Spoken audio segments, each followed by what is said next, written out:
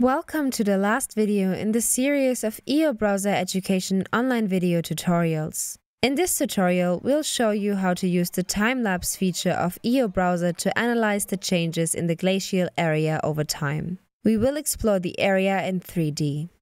After logging in, we will switch to Education mode, select the Snow and Glaciers theme and choose Bear Glacier Alaska as the location from the Highlights drop-down menu.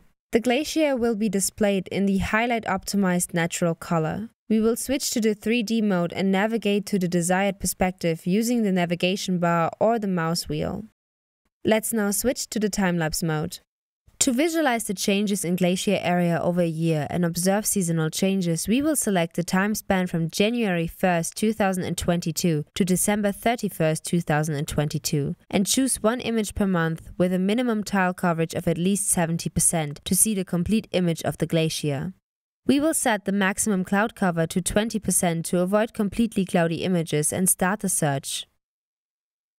Once the time-lapse is created, we can filter out the images we don't like, speed up the time-lapse to 4 frames per second, set the transition type to fade and inspect the time-lapse.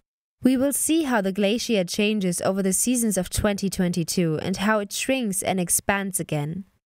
The preview is in low resolution for performance optimization reasons, but we can download it or share it in the full resolution specified in the settings.